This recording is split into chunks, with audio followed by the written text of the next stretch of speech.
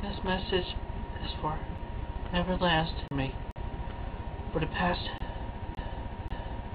number of years, even the recent trolls, I have been in a number Hey, hey, you, you, I don't like your boyfriend. No way, no way, I think you need a new one. He's like, so whatever, and you could do so much better. I think we should get together now. a little losing it and lose later. Because you won't let me be!